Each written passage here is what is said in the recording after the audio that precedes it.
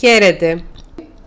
Αυτό είναι το πρωινό vlog, το οποίο θα επαναληφθεί και στις 1 το μεσημέρι στην αγγλική γλώσσα, ε, επειδή είναι Παρασκευή σήμερα. Και είναι ένα βίντεο το οποίο είναι πραγματικά vlog, είναι βίντεο blog, είναι αυτοβιογραφικό. Θέλω να σας μιλήσω για το τι έχω μάθει από το 2020.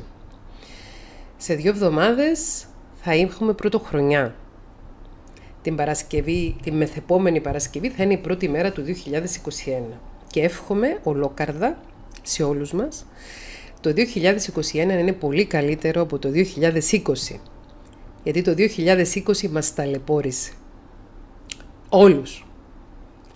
Δεν νομίζω να έχει κανέναν που να μην έχει ταλαιπωρηθεί το 2020. Όσοι άνθρωποι, που γνωρίζω, όσοι άνθρωποι γνωρίζω και γνωρίζω τις ζωές τους ή τα νέα τους, ξέρω ότι έχουν ταλαιπωρηθεί το 2020. Πρώτα απ' όλα έχουμε ταλαιπωρηθεί από την πανδημία και από τον αναγκαστικό εγκλισμό και αυτόν της άνοιξης και αυτόν τώρα του χειμώνα και ένα καλοκαίρι περίεργο αλλιώτικο που δεν είχαμε τις ελευθερίες που έχουμε συνήθως αλλά νομίζω ότι σε κάποιους από εμάς, ίσως σε όλους, έχουν γίνει και άλλες ριζικές αλλαγές, όπως προστάζουν οι καιροί. Οι καιροί δύσκολοι, οι καιροί περίεργοι φέρνουν στην επιφάνεια τα θέματά μας. Πώς μπήκε για μένα το 2020. Για μένα το 2020 μπήκε στραβά, αλλά αποφάσισα συνειδητά να το αγνοήσω, όπως είχα αποφασίσει συνειδητά και υποσυνείδητα να αγνοήσω και άλλα πράγματα που συνέβαιναν τα προηγούμενα χρόνια, προτού έρθει το 2020 δεν ήμουν ευχαρούμενη την πρωτοχρονιά, χωρίς να πιστεύω ότι το πώς είσαι την πρώτη μέρα θα επηρεάσει όλο τον χρόνο. Όταν ήμουν μικρότερη έκανα αυτές τις μαγικές σκέψεις, όταν είμαι χαρούμενη την πρωτοχρονιά θα είμαι όλο τον χρόνο χαρούμενη ή αν δεν με δει ο πατέρας μου την πρωτοχρονιά θα με δει ποτέ όλο τον χρόνο, πράγμα το οποίο εννοείται ότι δεν ίσχυε. Ε, όταν μπήκε το 2020, εγώ νόμιζα ότι τα είχα όλα ξεκαθαρισμένα, ότι είχα τακτοποιήσει τη ζωή μου σε κουτάκια, ότι ήξερα ποια είμαι και τι θέλω, ότι μετά από πάρα πολλά χρόνια μοναξιάς ε, και δυσκολιών, ότι ήμουν επιτέλους με το τέρι μου, με το δεύτερο μου σύζυγο και ότι ήταν όλα σε μία τάξη και μία σειρά. Μα δεν ήταν. Και αυτό ήρθε να μου το αποδείξει η καραντίνα. Πριν από την καραντίνα, το Ιανουάριο του 2020 και το Φεβρουάριο ήμουν πολύ απασχολημένη και με το κανάλι και με την περιοδία για το βιβλίο μου «Ψυχολογικός πόλεμος» το οποίο είχε κυκλοφορήσει 24 Οκτωβρίου του 2019. Και ήδη και η περιοδία που είχα κάνει στην Ελλάδα το Δεκέμβριο του 2019 δεν ήταν μια εύκολη περιοδία, είχε δυσκολίες. Γιατί όλα τα ωραία και τα όμορφα είναι και δύσκολα. Βρίσκομαι λοιπόν στις αρχές του Μάρτη του 2020 και σκέφτομαι πω πω θα είναι πολύ γεμάτος αυτός ο μήνας. Είχα προγραμματισμένη ένα, ε, προγραμματισμένο ένα tour στην Αθήνα και στην Κρήτη. Είχαμε προγραμματίσει τα σεμινάρια που τελικά επιτέλους τα κάναμε διαδικτυακά την εισαγωγή στα συναισθήματα μαζί με τον Δ. Αριστονίκη Θεοδοσίου. Ήταν προγραμματισμένο για 15 Μαρτίου. 16 Μαρτίου ήταν προγραμματισμένη μια διάλεξη δική μου στο Ανοιχτό Λαϊκό Πανεπιστήμιο στο Ηράκλειο και κανονίζαμε το πρόγραμμα μαζί με την Ελένη Παπαδοπούλου από την Impressme που είναι η εταιρεία που αναλαμβάνει τις εκδηλώσεις μου το πρόγραμμα για το τι άλλο να προσθέσουμε εκείνες τις μέρες και σκεφτόμουν πώς θα το αντέξω. Γιατί το Δεκέμβριο σχεδόν όλο ήμουνα στην Αθήνα, τον Ιανουάριο και τον Φεβρουάριο έκανα συνεχώς παρουσιάσεις του βιβλίου και λέω πώς θα το αντέξω εγώ που μου αρέσει να μένω στο σπίτι, που μου αρέσει να είμαι ήσυχη, που μου αρέσει να είμαι στην ησυχία μου. Και ήρθε η καραντίνα. Ήρθε το lockdown. Θυμάμαι στην αρχή γελούσαμε όταν μας είχε στείλει μια φίλη email. Μήπως δεν θα γίνει το σεμινάριο, επειδή υπάρχει ένας ιός που στην Ιταλία έχει πολλά κρούσματα. Ήταν μέσα στο Φεβρουάριο. Και λέω, τι λέει αυτή τώρα; Τα, τα, τα, τα πολυλόγια. Τα, τα, τα, τα υπερβάλλει ίσως αυτή η φίλη που έστειλε το mail, όμως δεν υπερέβαλε καθόλου. Τα πράγματα άρχισαν να, να αλλάζουν δραστικά και καταλήξαμε μέσα Μαρτίου να είμαστε κλεισμένοι στα σπίτια μας όλοι σχεδόν. Εγώ δεν θα σας πω ψέματα, δεν, έχω, δεν είχα βγει καθόλου από το σπίτι για δύο μήνες. Τους πρώτους δύο μήνες, μέχρι τα γενέθλιά μου, δεν είχα βγει από το σπίτι. Στο χωριό, το σπίτι στο χωριό. Έμεινα σε εκείνο το σπίτι, έκανα τα βίντεο τότε εδώ στο κανάλι, κάναμε και live πολύ συχνά, προσπαθούσα να προλάβω τα δύο βίντεο, είχα και δύο άντρες μέσα στο σπίτι, τον πρώην σύζυγο και το γιο μου. 27 Μαρτίου παθαίνω το ωραιότατο έγκαυμα δευτέρου βαθμού στο πόδι, το οποίο ήταν ένα ηχηρό καμπανάκι για να δω ότι κάτι δεν πάει καλά μαζί μου, αλλά εγώ εκεί. Ατού ο Γαβρίλης λέμε στην Κυπριακή διάλεκτο. Επέμενα. Όλα είναι καλά. Είμαι υπεράνθρωπος. Θα τα αντέξω όλα. Δεν σας είχα πει τίποτα εκείνες τις μέρες για το πόσο πολύ πονούσα. Πόνεσα πάρα πολύ. Ήταν εξαιρετικά επίπονο το 1 τρίτο της επιφάνειας του δεξιού μυρού μπροστά να είναι ε, καμένο ε, σε ε, δεύτερο βαθμό. Οι φουσκάλες, ο πόνος, το κάψιμο ήταν πολύ δύσκολο. Οι αλλαγές της πληγής δυο και τρεις και τέσσερις φορές τη μέρα, η δυσκολία στο μπάνιο ήταν δύσκολα πράγματα. Με το χαμόγελο στα χείλη όμως, με την υπερβολική υπομονή και ανοχή που έχω, τα έβγαλα πέρα. Και προσπαθούσα και έβλεπα τη μέρα αισιόδοξα. Δεν μετανιώνω που έβλεπα την κάθε μέρα αισιόδοξα. Θα συνεχίσω να βλέπω την κάθε μέρα αισιόδοξα. Δεν θα έχει κανένα νόημα να μην προσπαθώ να, να βλέπω το καλό στην κάθε μέρα, γιατί διαφορετικά δεν θα επιβίωνα εκείνες τις μέρες. Μας βάρεσε η καραντίνα για το καλό στο κεφάλι όλος. Είχαμε και στο κανάλι να αντιμετωπίσουμε διάφορα τρολάκια τα οποία είχαν βγει και έκανα σχόλια ιστορίες κακά. Απασχολιόμουν με όλα αυτά, στον κόσμο μου, στην κοσμάρα μου θα έλεγα.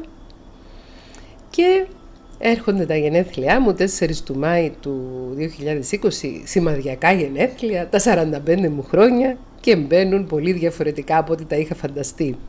Παγώνω, ψηλώνει αδρεναλίνη στο φουλ, όταν έχεις να αντιμετωπίζεις έναν άσχημο συμβάν, ένα άσχημο περιστατικό, όταν έχεις να αντιμετωπίσεις κάτι πάρα πολύ δύσκολο, αυτό που πρώτα ανεβαίνει ως νευροδιαβιβαστής στον εγκέφαλο είναι αδρεναλίνη, πάγωσα, μάζεψα όσες δυνάμεις δεν είχα, Θυμάμαι το πρώτο βράδυ δεν κοιμήθηκα καθόλου, δεν μπορούσα να κοιμηθώ, ήμουνα σε υπερένταση και προσπαθούσα να διαχειριστώ την πληροφορία ότι τελειώνει ο γάμος μου, που έπρεπε να το είχα δει πολύ καιρό πριν, αλλά λόγω α, υπερβολικής αισιοδοξίας, ίσως και λαττωματικής αισιοδοξίας θα έλεγα, δεν το έβλεπα, και να πρέπει να διαχειριστώ τη νέα συνθήκη και τα πράγματα που είχα μπροστά μου. Θέλω να ευχαριστήσω πάρα πολύ τη Μαριάννα τη Μαγούλα, η οποία είναι φίλη, η οποία είναι νομικός. Είναι η Μαριάννα που ε, έχει την εταιρεία ε, Cosmetal Cyprus που μου, έχει, που μου έδινε τα προϊόντα για τα μαλλιά κτλ. Η οποία νομικός και φίλη με στήριξε πάρα πολύ εκείνες τις πρώτες μέρες. Μαριάννα, σε ευχαριστώ πολύ και δεν το ξεχνάω. Ε, με τη βοήθεια του Θεού, γιατί σας έχω πει πολλές φορές ότι είμαι άθρησκη, αλλά πιστεύω στο Θεό, κατάφερα να ξεπεράσω τα εμπόδια των πρώτων ημερών και μετά που μπήκαν τα πράγματα σε μια αλφα σειρά, κουτάκια πάλι, ε, τότε ανακοίνωσα και στο κανάλι το γεγονός ότι ο γάμος μου τελείωσε και μετά είχα να αντιμετωπίσω ε, τις αρνητικές αντιδράσεις που αντιμετώπισα και από μεμονωμένους χρήστες στο κανάλι, αλλά και από κάποιους στο διαδίκτυο, στις σελίδες μου στο facebook συγκεκριμένα. Και εκεί παθαίνω μια μεγάλη φλασιά, παθαίνω έτσι ένα μεγάλο σοκ και συνειδητοποιώ ότι ζω σε μια κοινωνία με την οποία δεν ταιριάζω και ότι η χώρα στην οποία ζω δεν με καλύπτει. Και θυμάμαι ότι ήθελα πάντοτε να φύγω. Όταν πήγα να σπουδάσω στη Θεσσαλονίκη, ήθελα να παραμείνω στη Θεσσαλονίκη. Έκανα τα πάντα για να μην φύγω από τη Θεσσαλονίκη, αλλά δεν τα κατάφερα γιατί είχα κανονίσει έτσι τη ζωή μου ώστε να μην ορίζω εγώ τον εαυτό μου. Παντρεύτηκα στο, πριν, το καλοκαίρι πριν το τρίτο έτος και γέννησα το γιο μου ένα μήνα μετά το πτυχίο. Άρα υπήρχαν και άλλοι άνθρωποι στη ζωή μου που όριζαν το πώς θα κινούμουν. Θυμήθηκα ότι σε κάποια φάση είχα προσπαθήσει πάρα πολύ να μετακομίσω στην Αυστραλία μαζί με τον πρώτο μου σύζυγο και το μωρό, γιατί ήθελα να πάμε εκεί για μεταπτυχιακά και να παραμείνουμε. Έβαλαν βέτο άλλα πρόσωπα, γιατί όταν είσαι παντρεμένη και μικροπαντρεμένη και μικρομάνα δεν ελέγχεις μόνη σου τη ζωή σου και δεν πήγα στην Αυστραλία. Σε κάποια φάση όταν ήμασταν στο Μάντσεστερ στην Αγγλία προσπάθησα πάρα πολύ να παραμείνω εκεί στην Αγγλία και πάλι επειδή δεν εξαρτώταν μόνο από εμένα δεν τα κατάφερα. Και μετά το διαζύγιο μου με τον πατέρα των παιδιών το 2001, έχοντας ένα αγόρι 4 ετών και ένα κοριτσάκι 1,5 έτους, το πήρα απόφαση ότι δεν μπορούσα να φύγω από την Κύπρο παίρνοντας το λαιμό μου και τα παιδιά. Έπρεπε να τα αφήσω στη χώρα που ήταν ριζωμένα. στη χώρα που είχαν τη μισή τους οικογένεια και επίσης να φροντίζω ώστε τα καλοκαίρια και τις γιορτές να πηγαίνουν στη χώρα του πατέρα τους και να έρχονται σε επαφή και με τις ρίζες τους.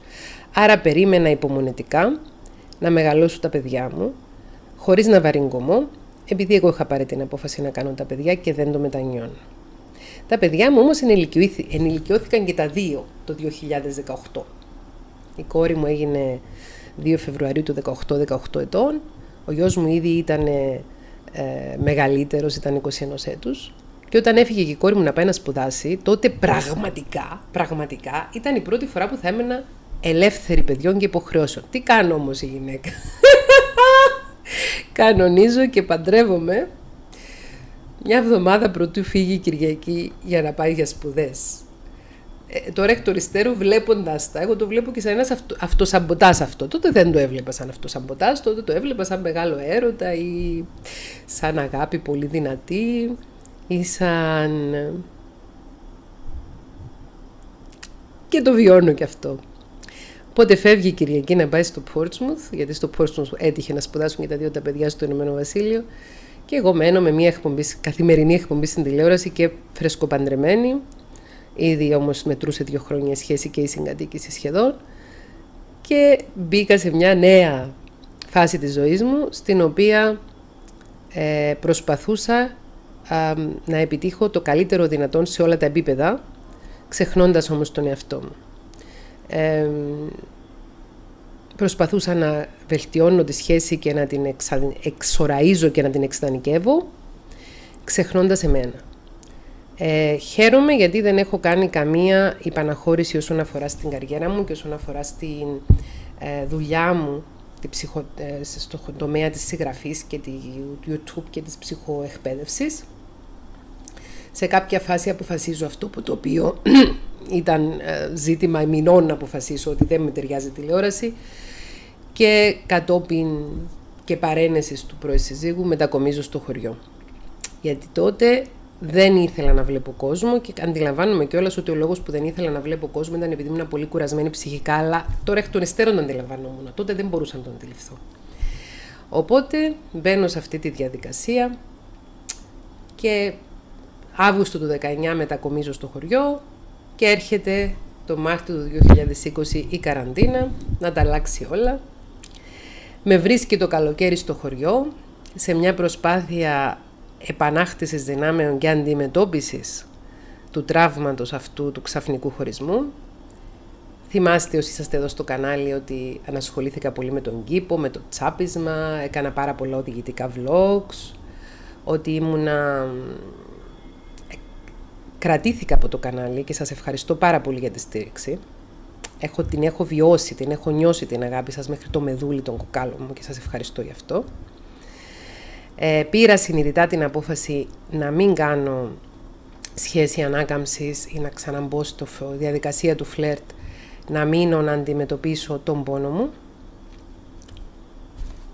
Δεν ξέρω πόσο καλά το κατάφερα να αντιμετωπίσω τον πόνο μου. Ε, γιατί είναι εύκολο εμείς οι άνθρωποι να νομίζουμε ότι αντιμετωπίζουμε τον πόνο μας ενώ να τον κοιμίζουμε ή να τον αποκοιμίζουμε. Ελπίζω να τον έχω αντιμετωπίσει Τώρα, 7,5 μήνες μετά, νιώθω ότι είμαι σε καλό σημείο, ότι πλέον δεν με ορίζει εκείνος ο γάμος, δεν με ορίζει εκείνη η σχέση, ότι έχω μετακινηθεί πολύ συναισθηματικά από εκείνη τη συνθήκη, ότι τελείωσε για μένα πλήρως. Και το Σεπτέμβριο κάνω μία ε, παρορμητική κίνηση, η οποία υποσυνείδητα είχε, είχε κίνητρο σαφώς, να έρθω διακοπές εδώ που ήρθα, γνωρίζοντας υποσυνείδητα ότι υπήρχε περίπτωση να μείνω λόγω καραντίνας. Ότι θα μπορούσα μεν να ταξιδέψω για να έρθω, αλλά θα ήταν δύσκολο να επιστρέψω. Υποσυνείδητα σαν να ήθελα να μείνω μακριά από την Κύπρο. Και είμαι εδώ, σας έχω πει ακόμη που είμαι, σε μια χώρα πολύ διαφορετική από τη δική μου, στην οποία μεγάλωσα, σε μια χώρα με την οποία δεν ταυτίζομαι καθόλου, δεν έχω κοινά με τους ανθρώπους εδώ νομίζω και αυτό μου δίνει μια τεράστια ελευθερία να είμαι μόνη μου, να είμαι εγώ, να είμαι σε αυτό το διαμέρισμα που νοικιάζω, να μπορώ να αφοσιωθώ σε αυτά που θέλω. Έχω τελειώσει και το βιβλίο μου για τον έρωτα, το οποίο ξεκίνησα την 1η Ιουλίου και τελείωσε 30 Νοεμβρίου. Εδώ σε αυτό το η χώρα το έχω τελειώσει το βιβλίο, το είχα ξεκινήσει στην Κύπρο. Ε, κάναμε και τα σεμινάρια, το πρώτα, τα πρώτα τα εισαγωγικά σεμινάρια με την δόκτωρα Αριστονίκη Θεοδοσίων ήμουν εδώ και έχω αρχίσει να έχω μια διαφορετική οπτική της ζωής ούσα εδώ, χωρίς να σημαίνει ότι είναι χώρα που με επηρεάζει, απλώς για μένα αυτή η χώρα είναι ουδέτερη. Δηλαδή δεν έχει, δεν έχει κάτι που να με συνδέει με αυτήν. Ε, δεν είναι διαφυγή του εαυτού μου, με την έννοια του ότι συνεχίζω τη ψυχοθεραπεία online, ε, την οποία ξεκίνησα μέσα Μαΐου. Ε, ίσως είναι μια προσπάθεια να δώσω στον εαυτό μου το χώρο και το χρόνο για να ανακαλύψω και να εστιαστώ ξανά στο τι πραγματικά θέλω και τι είναι σημαντικό για μένα. Είναι επίπονο και δύσκολο να χάνεις τις σταθερές σου, ακόμα και αυτές που θεωρούσες σταθερές χωρίς να είναι, όπως ένας γάμος που νόμιζες πως ήταν το απάγγιο σου ενώ μπορεί και να μην ήταν. Είναι δύσκολο να αφήνεις πράγματα όπως είναι η αναγνωρισιμότητα ή η τηλεόραση. Δεν είναι εύκολο, είναι και λίγο θυστικά όλα αυτά. Απ' την άλλη όμως σου δίνεται μια ευκαιρία να συναντήσεις καλύτερα τον εαυτό σου, γιατί όταν είσαι σε αυτό το πολύ γρήγορο τρένο της, της καθημερινής ε, παρουσίας στην τηλεόραση, χάνεις τον εαυτό σου ή κινδυνεύεις να χάσεις τον εαυτό σου από την γρήγορη εναλλαγή σκηνικών και από τις πολλές επαφές με πολλούς ανθρώπους μέσω των τηλεοπτικών εκπομπών που σε κάνουν να ξοδεύεσαι συναισθηματικά και να μην εμβαθύνεις. Ε, είμαι εδώ. Είμαι εδώ και για σας. Θα είμαστε εδώ παραμονή Χριστουγέννων, παραμονή Πρωτοχρονιάς όπως έχουμε προαναγγείλει και κάποιες άλλες μέρες με live ε, μέσα στις γιορτές, αυτές τις αλλιώτικες γιορτές. Για το Δεκέμβριο ολόκληρο τα βίντεο είναι δυο τη μέρα, ένα 11 το πρωί και ένα 8 το βράδυ. Και θέλω έτσι να εκφράσω την ανακούφισή μου που φτάνει στο τέλος αυτή η χρονιά. Ξέρω ότι ε, μία ημερολογιακή χρονιά είναι ένα ένα τέλος το οποίο είναι φτιαχτό. Εμείς οι άνθρωποι βάζουμε αρχή και τέλος. Ο χρόνος κυλάει συνεχώς αένα τα πάντα ρί. Αλλά έχουμε ανάγκη να νιώθουμε αυτή την εφταξία ή την ψευδέστηση εφταξίας στη ζωή μας. Νιώθω μια ανακούφιση που τελειώνει αυτή η χρονιά. Νιώθω μια ευγνωμοσύνη για όλα τα σπουδαία που μου έχει διδάξει. Θα το παραδεχθώ ότι νιώθω και ένα φόβο. Νιώθω ένα φόβο για το αβέβαιο του μέλλοντος και νιώθω και ένα φόβο για τη μοναξιά που τώρα 7 μήνες μετά από το χωρισμό έχει αρχίσει να τρίζει τα δόντια της. Το παραδέχομαι. Από την άλλη όμως, όπως έλεγα και στη φίλη μου την Κατερίνα χθες το βράδυ, κάθε καινούρια μέρα είναι μια ευκαιρία να την αδράξουμε τη μέρα, carpe diem, να πάρουμε τη μέρα στα χέρια μας και να τη γυρίσουμε προς όφελός μας. Να κάνουμε κάθε μέρα, κάθε εμπειρία, κάθε συγκεκριμένη συνθήκη στην οποία έχουμε βρεθεί χρήσιμη για εμάς. Οπότε, όσο και αν με φοβίζει η συνέχεια, το παραδέχτηκο ότι με φοβίζει, ε, με φοβίζει γιατί είμαι κι εγώ ανθρωπάκι και χρησιμοποιώ ενίοτε συμβιβαστικούς μηχανισμούς άμυνας. Έχουμε μιλήσει για τους συμβιβαστικούς και για τους υγιείς μηχανισμούς άμυνας. Και ένας συμβαστικός μηχανισμός άμυνας είναι η διαμερισματοποίηση του εγκεφάλου. Του στυλ θα επιλύσω αυτό μου το θέμα, θα επιλύσω το θέμα μου το συναισθηματικό, το ερωτικό, το συντροφικό, θα το βάλω σε ένα κουτί και θα τελειώνει και θα μπορώ να ασχοληθώ με όλα τα υπόλοιπα. Αυτό είχα κάνει τα τελευταία προηγούμενα τέσσερα χρόνια. Το οποίο όμως ε, μακροπρόθεσμα δεν λειτουργήσε θετικά. Έχω μια καινούρια πρόκληση να ζήσω μαζί με τον εαυτό μου, να αντέξω τον εαυτό μου μόνο, να συμφιλιωθώ με όσους εσωτερικούς δαίμονες ακόμη δεν έχω συμφιλιωθεί και να αποδεχτώ την τροτότητα, την ευαλωτότητα και την αδυναμία μου για ακόμη μια φορά. Και να μπορέσω έτσι να έρθω πιο κοντά σε όλους τους υπόλοιπους ανθρώπους οι οποίοι ε, μπορεί να μην έχουν κάποιο τρόπο να κρύψουν την ευαλωτότητα και την αδυναμία τους και να είναι πιο φανεροί, χωρίς να σημαίνει ότι εμείς οι υπόλοιποι που την κρύβουμε καλά δεν έχουμε. Έχουμε κάνει και ένα vlog τις προηγούμενες ημέρες για τη δύναμη της ευαλωτότητας. Με αυτό τελειώνει το 2020 για μένα, ότι είναι εντάξει να μην είσαι εντάξει, είναι ok να μην είσαι ok. ότι είναι ανθρώπινο να έχεις αδυναμίες, ότι είναι ανθρώπινο να απελπίζεσαι, είναι ανθρώπινο να στενοχωριέσαι, είναι ανθρώπινο να φοβάσαι, όπως επίσης είναι και ανθρώπινο να, να αγωνίζεσαι για να βιώσεις, να εκτονώσεις τα αρνητικά συναισθήματα και να μπορέσεις να ανοίξεις δρόμο για καινούρια ωραία πράγματα και εύκολα και δύσκολα γιατί η ζωή ποτέ δεν θα είναι εύκολη. Και αυτή ακριβώς η δυσκολία της ζωής είναι που μας δίνει και την ευκαιρία να μπορούμε να τη χαρούμε. Να μπορούμε να χαρούμε τη ζωή γιατί ανάλογα με το επίπεδο δυσκολίας χρειάζεται να καταβάλουμε και την ανάλογη προσπάθεια και καταβάλλοντας προσπάθεια κινούμαστε και κινούμε εμείς κινούνται και τα μέσα μας, κινούνται και τα έξω μας και ο κόσμος πάει μπροστά.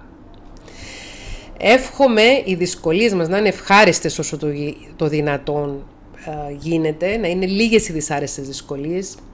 Επίσης, αυτό το ξέχασα. Είδατε, είδατε ο συμβιβαστικός μηχανισμός της απόθυσης. Απόθυσα το γεγονός ότι ε, το Νοέμβριο χάσαμε στην οικογένεια δύο πρόσωπα, στην ευρύτερη οικογένεια, από καρκίνο.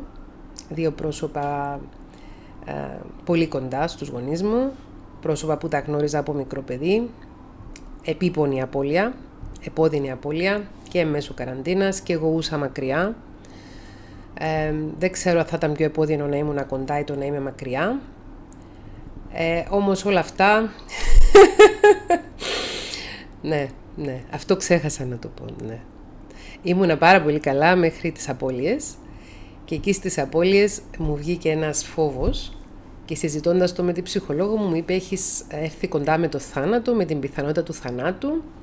Και επειδή μου λέει: Βρίσκεσαι σε μια α, καμπή της ζωής σου, στην οποία παίρνεις επιτέλους τη ζωή σου στα χέρια σου, φοβάσαι ότι θα μπορεί να χάσεις τον έλεγχο της ζωής σου και ο μεγαλύτερος φόβος για τον έλεγχο, να χάσεις τον έλεγχο, είναι να χάσεις τη ζωή σου την ίδια. Ε, δεν φοβάμαι ότι θα πεθάνω αυτή τη στιγμή. Το είχα κάποιες μέρες που είχα αυτές τις σκέψεις μαζί με τη θλίψη, μαζί με τη λύπη, μαζί με το πένθος. Ξαναλέω όπως είχα πει και εκείνες τις μέρες ότι το πένθος δεν είναι το ίδιο με τα πολύ κοντινά πρόσωπα. Εξακολουθώ να θεωρώ πως η απώλεια ενός γονέα είναι πολύ σοβαρότερη, η απώλεια ενός παιδιού ακόμη σοβαρότερη. Αλλά όταν άνθρωποι που γνώριζες όλη σου τη ζωή φεύγουν ξαφνικά από τη ζωή νικημένοι από μια ασθένεια, άνθρωποι που βρίσκονται σε ηλικία που θα μπορούσαν να ζήσουν άλλα 10, 15, 20 χρόνια, αυτός σε ενοχλεί. Έρχεται το 2021, εύχομαι και ελπίζω να συνεχίσω να έχω τη δύναμη να ξανασηκώνομαι κάθε φορά που πέφτω, να σηκώνω ψυχολογικά τον εαυτό μου κάθε φορά που δυσκολεύομαι. Εξακολουθώ να πιστεύω ότι καλύτερα να είσαι μόνος παρά κακά συντροφευμένος. Εξακολουθώ να το πιστεύω αυτό το πράγμα. Παρόλο που ένας συμβιβαστικός μηχανισμός άμυνας είναι να είσαι κακά συντροφευμένος παρά μόνος. Εξακολουθώ να πιστεύω ότι είναι καλύτερα να είσαι μόνος παρά κακά συντροφευμένος. Νομίζω ότι αυτό φαίνεται ήδη σε μένα. Έχω, έχω ξεφορτωθεί βάρη και μιλώντας για βάρη κυριολεκτικά Είμαι 87 κιλά τώρα, ενώ ε, την περσινή χρονιά ήμουνα 98, στην αρχή της προηγούμενης χρονιάς. Άρα αυτά τα 11 κιλά που έχουν φύγει είναι 11 κιλά βαρύδια. Δεν κάνω ιδιαίτερη δίαιτα, σας το έχω ξαναπεί. Κάνω περπάτημα, κάνω υγιεινή διατροφή, αλλά νομίζω ότι ο βασικός λόγος που έφυγαν τα βαρύδια είναι ότι έφυγαν και ψυχικά βαρύδια μαζί. Και έτσι προτιμώ να είμαι α, αποδυναμωμένη όσον αφορά το κομμάτι του να έχω συμβιβαστικούς μηχανισμούς άμυνας εν δράση και εν λειτουργία και να νομίζω ότι τα έχω κάνει τι όλα μου τα κουτάκια. Προτιμώ να είμαι πιο ανάλαφρη από βάρια σήκωτα. Προτιμώ να αντιμετωπίζω καθημερινά το φόβο της μοναξιάς και την έλλειψη ε, κάποιων πνευματικών αγαθών που δεν μπορείς να έχεις ε, μόνος σου 100% καταλαβαίνετε τι εννοώ ε, με την έννοια του ότι είσαι μόνος, είναι ωραίο να είσαι μόνος, έχει πολλά θετικά το να είσαι μόνος, αλλά επίσης έρχεται και η ώρα που θα ήθελες να μοιραστείς κάτι με έναν άνθρωπο. Ευγνωμονώ τις φίλες μου που είναι εκεί για μένα, στην άλλη άκρη του τηλεφώνου, στην άλλη άκρη της βιντεοκλήσης. Σας ευγνωμονώ και εσάς που είστε καθημερινά εδώ. Θα μπούμε στη νέα χρονιά πιο δυνατή, πιο αισιόδοξη, πιο ενωμένη εδώ στο κανάλι. Θέλω να διαβάσω κάτω από τα στα σχόλια τη δική σας α, ανατροφοδότηση για το 2020 και θέτω από τώρα το θέμα του αυριανού βραδινού live, του Σαββάτου δηλαδή, που θα είναι 19 Νοεμβρίου 2020, τι μας έχει διδάξει το 2020 και τι ελπίζουμε για το 2021, αλλά κυρίως τι μας έχει διδάξει το 2020 αύριο το βράδυ, ε, Σάββατο 19 Νοεμβρίου 2020, 10 ώρα Ελλάδος και Κύπρου. Στο live μας θα πείτε και εσείς τα δικά σας, θα τα διαβάσω εδώ πέρα. Ε, απολογούμε που πήρα το χρόνο του πρωινού vlog για να μιλήσω για μένα. Ε, εύχομαι να ήταν χρήσιμο αυτό το βίντεο σε εσάς. Αν δεν ήταν, απολογούμε ξανά. Και θέλω να σας πω ότι σας αγαπώ και το 2020 είχε δύσκολα πράγματα. Αλλά έχει και όμορφα. Ένα από τα οποία είναι ότι δέσαμε. Δέσαμε ωραία σαν οικογένεια εδώ στο κανάλι. Και είμαι ευγνώμων γι' αυτό.